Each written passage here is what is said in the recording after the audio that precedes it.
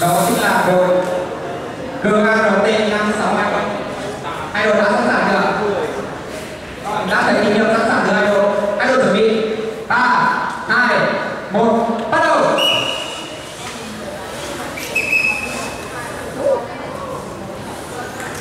Vâng wow giỏ ba điểm và giỏ mười điểm của đội đỏ đã mở vâng rất đáng tiếc đội xanh mới chỉ ở đường giỏ ba điểm thôi hãy xem này đội nào sẽ cho bóng vào giỏ ba điểm đầu tiên.